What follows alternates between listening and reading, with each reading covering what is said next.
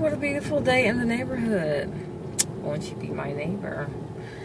Oh my gosh, I feel as tired as I look. I don't understand like how work has been so tiresome lately. Just a little too much. Um, I'm thinking, oh, I can't wait to get home just to get in the bed before church tonight, but I have to go check on my mom. You know, it's just always, always something.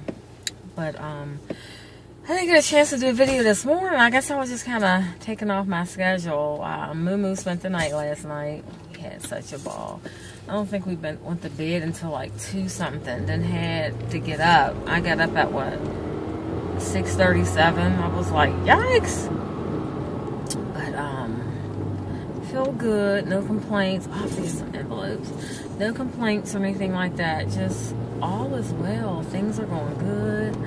Um, me, Moo Moo, and Jared, we really, really, really had an amazing time. We had a nice time with one another.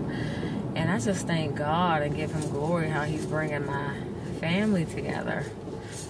Oh, like, look, can you see this? I don't know if you can see. Oh my gosh, I just need liposuction, honey.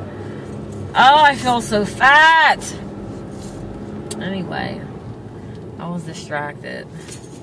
I need a tummy tuck. Lipo, liposuction from my stomach to my knees. Oh, I'm tired. Okay.